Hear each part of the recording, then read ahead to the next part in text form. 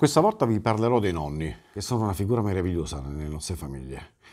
Lo sapete che ci sono 4 milioni di minorenni che sono affidati per gran parte della giornata ai nonni, che sono il vero welfare del nostro paese. È grazie ai nonni che le coppie riescono ad andare a lavorare e a ammortizzare le spese, magari di babysitter, di vari aiuti. E purtroppo però i nonni spesso subiscono delle gravi ingiustizie. Ad alcuni è impedito addirittura in caso di separazione de, dei coniugi di vedere i nipoti.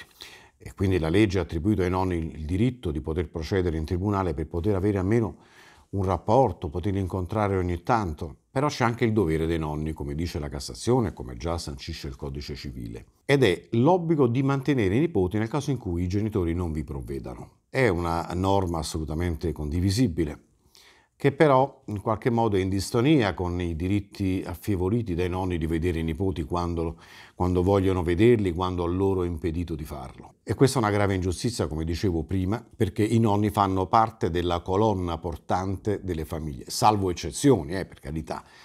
Ho conosciuto anche nonni negativi, ma nel 99% dei casi i nonni sono figure meravigliose. Ma la Cassazione ha sancito appunto il loro obbligo di mantenere i nipoti in proporzione alle loro possibilità. Tenete presente che i nonni sono pensionati, per cui devono fare dei sacrifici enormi per mantenere eh, i nipoti. Quindi in primis devono essere i genitori a provvedere al mantenimento dei, dei figli, altrimenti lo faranno appunto i nonni paterni o materni che siano.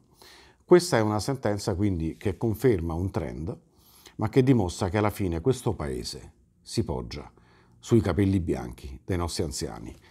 Per tutte le altre notizie vi invito a iscrivervi al canale di YouTube Studio Legale Gassani.